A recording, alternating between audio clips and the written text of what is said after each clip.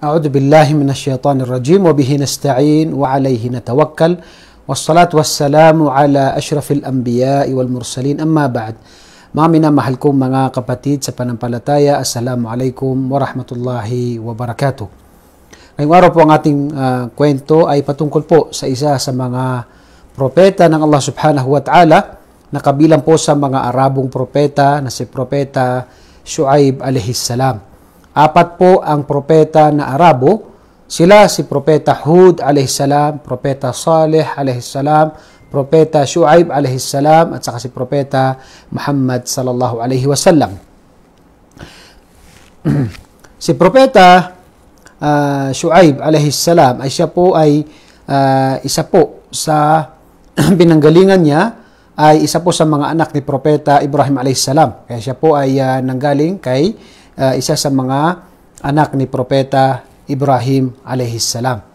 At siya po ay isinugo bilang propeta sa uh, kanyang uh, kaum na tinatawag na Madian. Itong lugar na ito, itong lugar na Madian, ay malapit ito sa lugar ni propeta uh, Lut alayhis salam na ito yung uh, ito yung propeta ni Lut alayhis uh, ito yung lugar ni propeta Lut alayhis salam.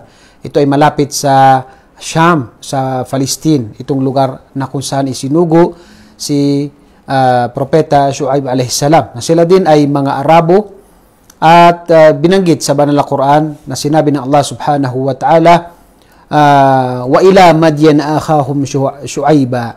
At dito sabi nila o sabi dito sa Banal Quran, wa ila Madian, at siya ay isinugo sa Madian sa kapatid nila na si Shu'aib. So si Shu'aib ay isa sa kapatid nila. Ibig sabihin siya ay taga doon o kabilang sa kanyang uh, mga tinatawag na mga nasyon, itong uh, Madian. So itong Madian ay malapit, gaya nabanggit natin, malapit po ito sa lugar na kung saan ito yung lugar na uh, pinarusahan dito ang kaum ni Propeta Lut alayhis salam. At ang kanyang dalang mensahe dahil ang mga taong ito ay sila ay sumasamba sa mga uh, isa sa mga ribulto at ang sinas- sinasamba nila ay nabanggit ay yung Ashabul Aika. Yung Aika ay kabilang sa nabanggit ng mga ulama ay iba itong mga uh, ginagawa nila ay sumasamba sila sa mga puno. Itong Aika, ito yung puno na class ito ng puno na napakaraming mga sanga.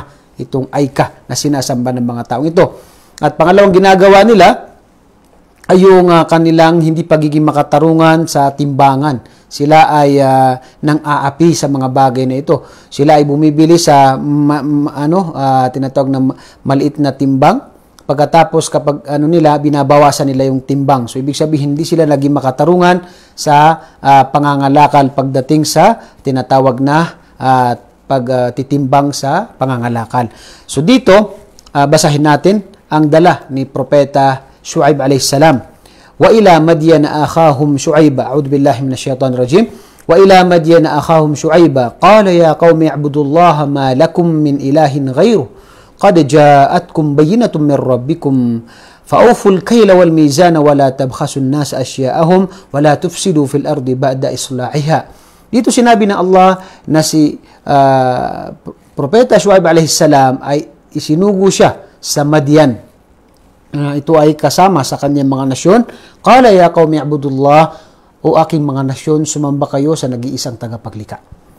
Itong unang mensahe niya ay mensahe ng lahat ng mga naunang mga propeta mula kay uh, mula kay propeta uh, si propeta Adam alayhis salam siya pinakaunang propeta at walang nangyaring shirk maliban doon sa uh, pagdating sa tinatawag na mga kaum ni Nuh salam. At si Nuh, Nuh salam, ang kanyang dala ay tauhid. Propeta Hud, Propeta Saleh, Propeta Ibrahim salam. Lahat sila ang dala nilang mensahe ay iisa lamang na ito ang tauhid na uh, sambahin mo lamang ang nag-iisang tagapaglikha. Dito, wa'budullaha wa'budullah ma lakum min ilahin khair. Walang ibang dapat sambahin maliban kay Allah subhanahu wa ta'ala. Qad ja'akum Kajaat kum bayinatun min rabbikum dumating sa inyo mga tanda mula kay Allah subhanahu wa ta'ala na dapat siya lang ang inyong sambahin. Fauful kaila. Dito naman, yung unang dala niyang mensahe ay pagsamba sa nag-iisang tagapaglika. Pangalawa ay itinatama niya yung kanilang mga uh, uh, kanilang mga kamalian sa pangangalakal. Na ito yung kanilang hindi pagiging makatarungan sa pangangalakal. Ito yung mga uh, kanilang ginagamit na timbangan ay binabawasan nila kapag sila ay magbebenta. Ito ay tinatawag na panlilinlang sa mga tao. Kaya isa rin ito sa itinatama sa kanila ni Propeta Shuaib salam na isa ito sa itinuturo ng relihiyong Islam na maging pantay lalo na sa pangangalakal lalo na sa paggamit ng timbang. Ito ay uh, tinatawag na uh, dapat na ginagawa ng isang mananampalataya at hindi nararapat na manloko ng kapwa dahil ito ay isang kasalanan sa relihiyong Islam na ang ganitong uri na gawain ay ito po ay haram at hindi po uh, nararapat na ipakain ng tao, isang mananampalataya sa kanyang kapatid o sa kanyang anak o sa kanyang asawa na ito ay nagmula sa haram. Dahil ito ay panloloko, itong tinatawag na pagbawas sa timbangan kapag tayo ay nangangalakal. So isa ito sa dala niya na mensahe rin sa uh, kanyang mga nasyon na ito ay sila yung mga taga Madian, itong lugar na ito, itong mga nasyon na ito. At pagkatapos, makikita natin ang uh, awa sa kanila ni Propeta Shuaib salam na kanyang sinabi, uh, wa inni akhafu alaykum adhaba yawm, yawmin muhit. Dito, nung nag, nagpapalaganap sa kan, uh, si Propeta Shuaib sa kanila ng mensahe ng pagsamba sa nag-iisang tagapaglika at maging makatarungan sila sa timbangan, ay sinabi niya sa kanila, dahil siya ay naawa sa kanila, na Inni akhaf, ako ay tunay na natatakot kay Allah subhanahu wa ta'ala na kayo ay parusahan niya. Na kayo ay parusahan niya lalo na sa araw ng paghukom. At dito, isa ito sa dapat maging katangian ng isang da'ya, isang mangangaral, na tayo ay nagpapalaganap ng relihiyong Islam bilang awan natin sa mga tao sa kanilang uh, tinatawag na uh, kaparusahan. Naawa tayo sa kanila na baka sila ay parusahan ng Allah subhanahu wa ta'ala kapag sila ay hindi nagbalik loob kay Allah. Yan ay isa sa mga dapat maramdaman ng isang nagpaparating ng kabutihan at hindi upang uh, purihin ang tao, bagkus ang dapat na maging hangarin ng tao ay awa na magkaroon ka dun sa mga tao na sumasamba sa ribulto, sa mga tao na hindi nagsasala. So ikaw ngayon, pinaparating mo sa kanila ang, ang mensahe na nag-iisang tagapaglika bilang awa sa kanila na baka sila ay parusahan ng Allah subhanahu wa ta'ala. Pangalawang sinabi ni Propeta Shu'aib salam sa kanila, "Wa ya qaumi, la yajrimannakum shiqaqi ay yusibakum mithlu ma asaba qaw mithlu ma asaba qaumi nuh aw uh, qauma hudin aw qauma salih wa ma qaum lutin minkum biba'id." At dito sinabi niya na ako'y natatakot sa inyo na baka kayo ay parusahan din katulad ng mga nasyon ni Propeta Nuh alayhi salam Katulad ng propeta, katulad din ng parusa kay sa mga nasyon ni propeta Hud alayhi salam at sa mga nasyon ni propeta Salih alayhi salam. At ganun din na sabi niya hindi kayo nalalayo. Ibig sabihin malapit kayo sa uh, tinatawag na nasyon ni propeta propeta Lut salam.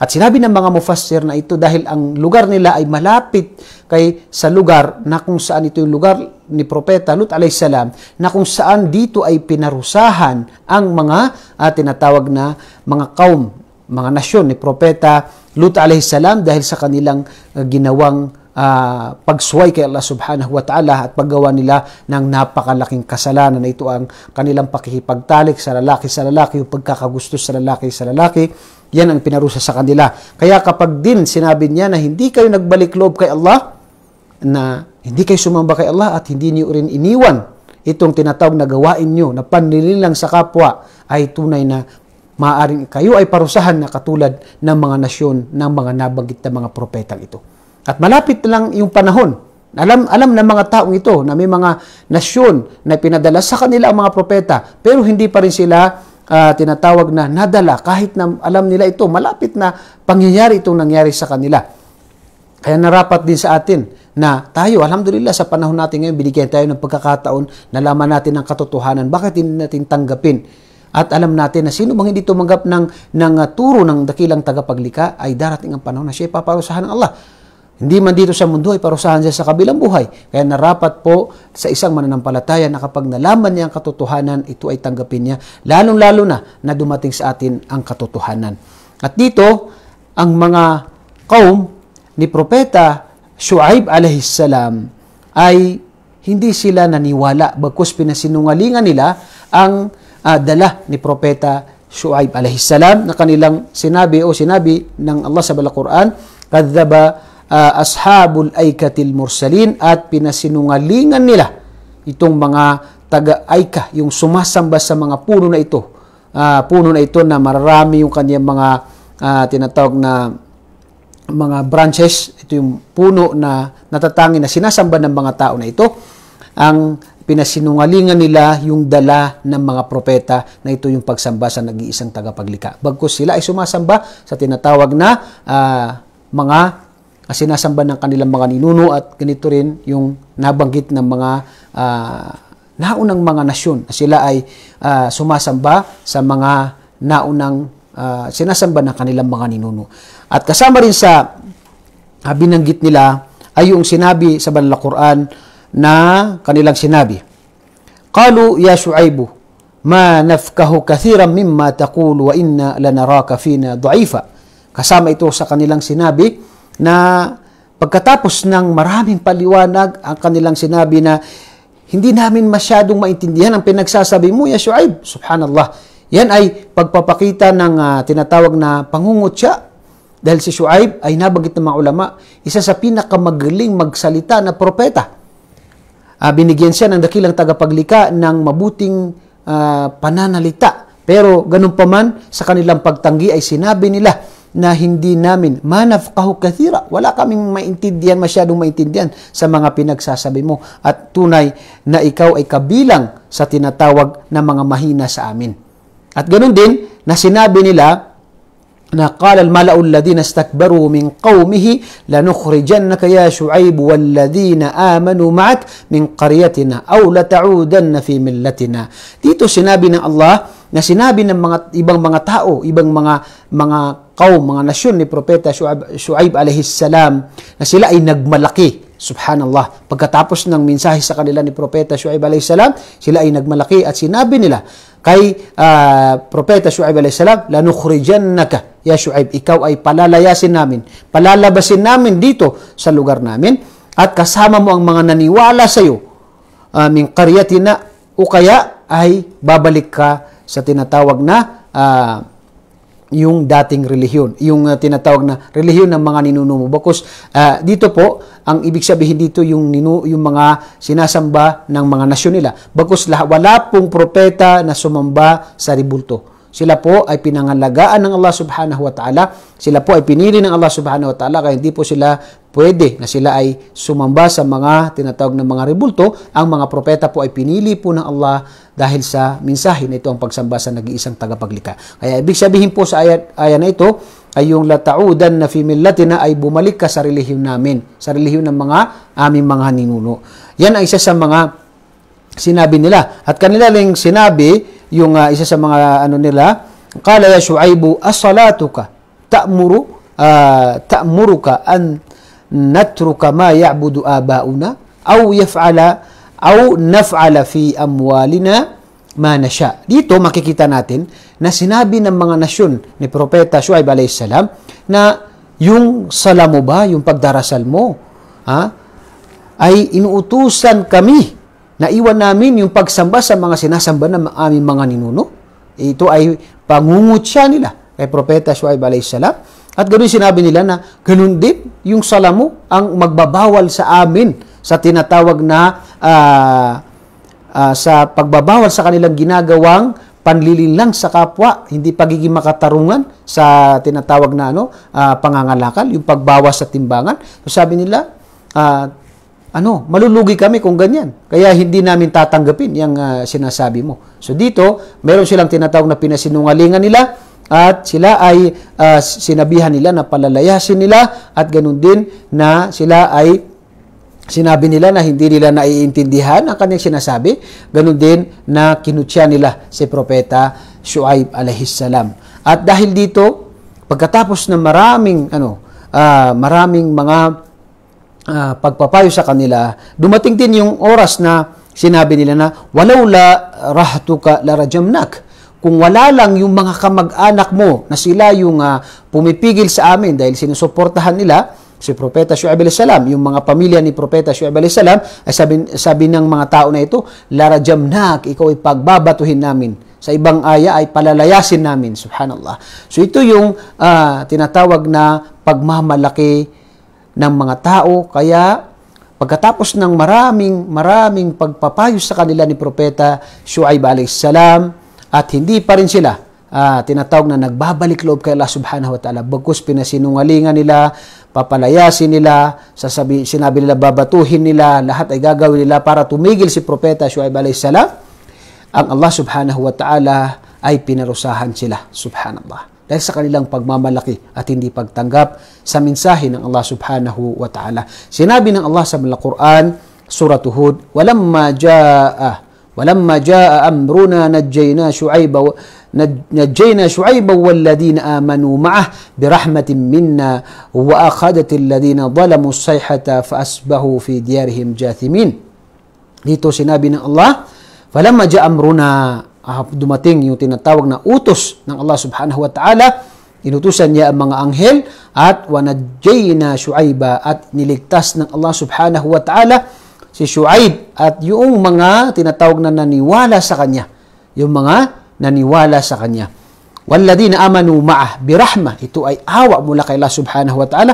Wa akhadat alladina dhalamu sayha. At pagkatapos ay, ay yung tinatawag na dumating ang parusa ng Allah subhanahu wa ta'ala na isang napakalaking, napakalaking tinatawag na boses na ito yung dahilan ng kanilang pagkamatay at yung pagkasawi. Dahil sa lahat ng nakarinig dito na hindi mananampalataya ay sila ay binawian ng buhay sa lakas at tindi ng tunog na ito ay ito ay parusa sa mga tao na sila ay naging matigas ang kanilang mga puso, sila ay nagmalaki, pinasinungalingan nila ang mga propeta, pagkaraan nang dumating sa kanila ang mensahe ng Allah subhanahu wa ta'ala.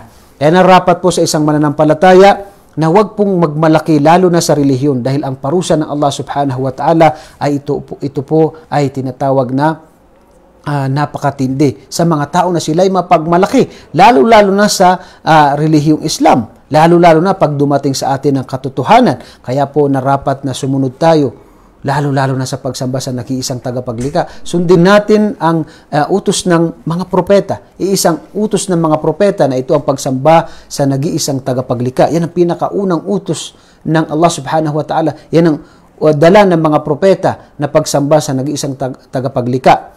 Uh, sinabi ng Allah sa banal Quran na وَمَا خَلَقْتُ الْجِنَّ وَالْإِنسَ إِلَّا لِيَعْبُدُونَ Walang dahilan ng pagpapadala ko, o walang dahilan ng pagkalikha ko sa mga jin, mga engkanto at saka sa mga tao maliban na sila ay sumamba lamang sa nag-iisang tagapaglikha. Kaya anumang klase ng shirk ay dapat nating iwasan at sumamba lang tayo sa nag-iisang tagapaglikha. Ganun din yung mga uh, kasalanan na pinagbawal ng Allah subhanahu wa ta'ala. Katulad halimbawa ng uh, kay Propeta Lut alayhi salam, ipinagbawal sa kanila at sa lahat tayo, ipinagbawal sa atin yung tinatawag na yung pagkakagusto, yung tinatawag na pagtatalik ng lalaki sa lalaki o babae sa babae. Yan ay malaking kasalanan. Muslim man o Kristiyano, yan ay tinatawag na pinagbabawal din sa Biblia. Hindi natin sinasabi na yun ang batayan natin, pero hindi na ipinagbabawal sa Biblia. Kaya narapat na ito ipagbawal natin. Sa panahon natin ngayon, maraming pinagbawal sa banal na Quran na subhanallah, may mga tao na patuloy itong ginagawa. Katulad ngayon sa ano, yung uh, tinatawag na uh, naging kasanayan, yung tinatawag iba nakikita na yung anak niya na nagbabakla-baklaan, subhanallah. So dapat ito ikamuhian ng tao. Ganun din yung tinatawag na sa kaum ni Propeta Shuaib, ito yung tinatawag na hindi pagiging makatarungan sa mga timbangan. So itong dahilan ng tinatawag na pagparusa sa kanila. Sila ay binigyan ng babala para maging makatarungan sila. Pero hindi pa rin sila naging makatarungan. Katulad sa panahon natin ngayon, halimbawa yung riba. Ha? kapag ikaw ay gumagawa ng riba, sinabi ng Allah sa banal Quran, ay para mong hinahamon ang Allah subhanahu wa ta'ala. Sa panahon natin ngayon, subhanallah, maraming gumagawa ng riba kahit alam niya na ito'y riba. Patubo, subhanallah. Kaya ang tao na gumagawa niyan, unang-una haram at para mong hinahamon ng Allah subhanahu wa ta'ala. Kaya darating at darating ang panahon na pagsisisihan ng tao yan, wala pong baraka, biyaya ang ganyang hanap buhay at paparusahan siya dito sa mundo at sa kabilang buhay kapag siya ay hindi nagbalik loob kay Allah subhanahu wa ta'ala at sa iba pang mga kasalanan na nabanggit ng Quran, nabanggit ng Propeta Muhammad sallallahu alaihi wasallam na malaking kasalanan na rapat po na ito iwanan natin bilang pagsunod kay Allah subhanahu wa ta'ala. Sino man ang sumunod kay Allah, man taraka man taraka shay'an li ajli li ajli Allah awadahu Allah khairan minhu sino man ang iwan niya ang isang bagay subhanallah ay papalitan sa kanya ng napakagandang bagay mula kay Allah subhanahu wa ta'ala dahil sa kanyang pagtitiis. Iniwan niya mga bagay na ito dahil alam niya na ito ay pinagbabawal. Allahu Akbar. Kaya gantimpala kay Allah subhanahu wa ta'ala. Sana po nakapulot tayo ng aral sa araw na ito patungkol kay sa kwento ni Propeta Shuaib alaihi salam at uh, ito ay maisabuhay natin na ang pagsunod sa utos ng Allah ay napakahalaga. Dahil kapag hindi sinunod ng tao, maaaring siya ay parusahan dito sa mundo. At ang pinakamatindi ay ang parusa sa kabilang buhay kapag hindi siya nagbalik loob kay Allah subhanahu wa ta'ala. Uh, sa lahat po muli ng bumati sa inyo, ng Assalamualaikum wa alaikumussalam wa rahmatullahi wa barakatuh. At uh, ako po muli ay nagpapasalamat sa inyo. Nawag at lang kayo ng Allah subhanahu wa ta'ala. Assalamualaikum warahmatullahi wabarakatuh.